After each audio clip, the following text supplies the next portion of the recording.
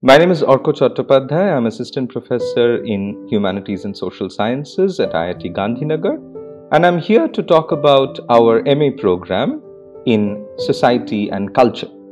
It's an interdisciplinary uh, and multidisciplinary humanities program with uh, disciplines like uh, literary studies, sociology, anthropology, uh, history, archaeology, philosophy, uh, and one of the greatest merits of a program like this is the opportunity that students get to learn from all these different disciplines.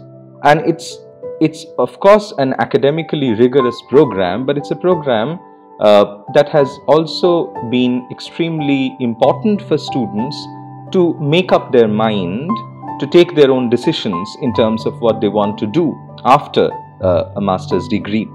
And this program has been running uh, in this institution from 2014. Uh, and we have successfully run this program for all these years.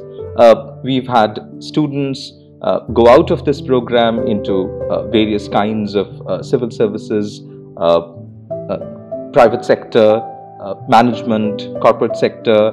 We also have a large number of students continuing their higher studies after the masters, continuing with their doctoral studies in India, as well as in countries like uh, the United States, uh, the United Kingdom, Canada, uh, and, and so on. Uh, it has been a very rich program, and as a faculty member, I can talk about the diversity of a classroom. So, for example, when I teach a course uh, on philosophy of cognition and psychoanalysis, I have students from undergraduate engineering studies.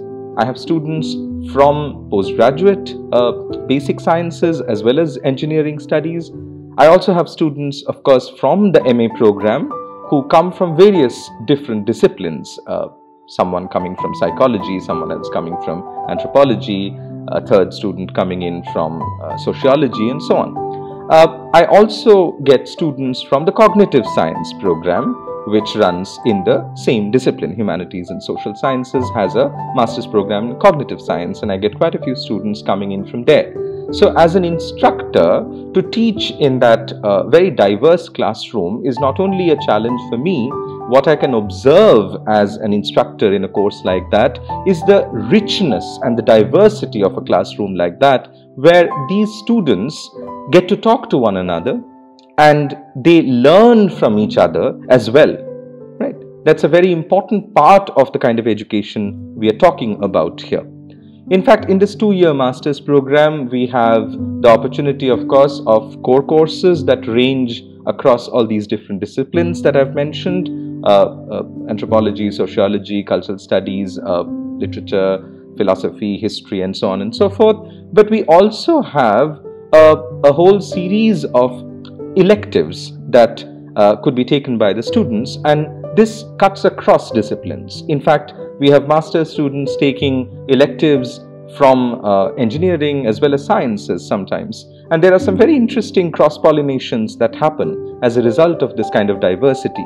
Uh, again, any uh, master student is allowed to work with any faculty member, not just within humanities but outside humanities as well, anyone in the institution when it comes to doing their independent one on one projects that they do with the faculty members, as well as this 10,000 word MA thesis that each student has to write at the end of this two year program. It's an academically rigorous program. It's a program that allows all of us to think through the, the disciplinary boundaries, as it were, and to also go beyond those boundaries to look at one discipline from the vantage point of another. To use a literary metaphor from the American novelist Henry James, I would say this is like a house with multiple windows the way James talked about the house of fiction having multiple windows, this is a house with multiple windows, and all these different disciplines are the different windows. They throw light upon each other, they shed unprecedented light upon each other. There's a way in which we can understand, let's say, philosophy from the vantage point of anthropology, literature from the vantage point of sociology, that does not happen otherwise. And this is a wonderful opportunity, I think, for the students to experience this kind of a multimodal education that we offer.